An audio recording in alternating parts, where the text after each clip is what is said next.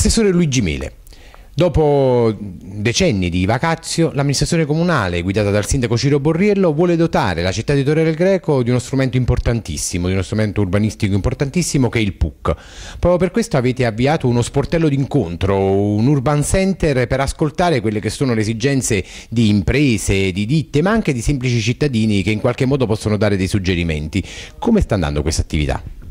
Allora, l'attività sta andando molto bene, tanto è vero che l'Urban Center ehm, sta avendo molte richieste da parte degli operatori dei vari settori economici del territorio. Eh, sono incontri che si svolgono su appuntamento con i nostri responsabili dei vari uffici e in effetti eh, l'amministrazione ha la volontà di ascoltare quelle che sono le problematiche del territorio e degli operatori stessi che operano sul territorio.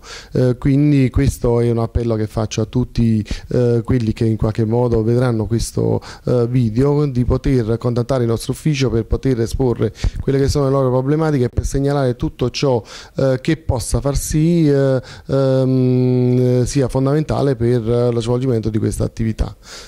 Ecco, abbiamo detto il PUC, abbiamo detto questo piano urbanistico comunale che in qualche modo è indispensabile strumento per poter poi portare avanti tutte quelle che sono le esigenze urbanistiche della città. Quali sono le linee guida che in qualche modo ha tracciato l'amministrazione?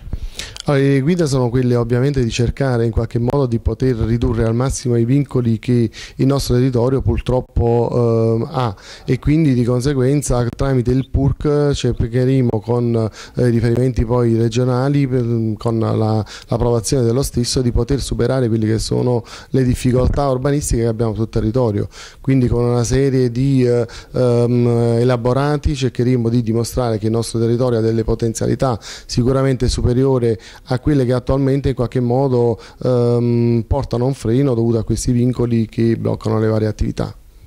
Vincoli che in qualche modo si punta a superare o comunque a ridurre. Sicuramente cercheremo di fare il possibile per ridurre perché eh, sono vincoli che ovviamente non persistono solo sulla città di Torre Greco ma su tutti i paesi della zona vesuviana, quindi in collaborazione con la regione ed eventualmente anche con il governo centrale cercheremo di poter far sì che questi vincoli si possano sicuramente ridurre e eh, cercare di dare più spazio a chi ha la volontà di poter investire sul nostro territorio.